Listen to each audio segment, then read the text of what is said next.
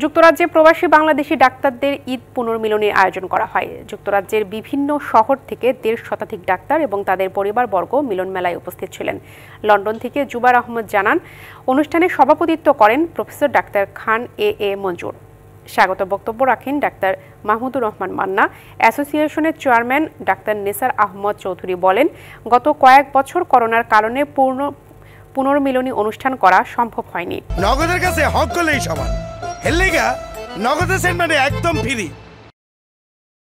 অনুষ্ঠানে বক্তব্য রাখেন doctor Nuruzzaman doctor Monowara Begum doctor Mahmudur Rahman Khan doctor M A Mannan doctor Hamidur Haque doctor Setara doctor Shiuli সহ অন্যান্যরা।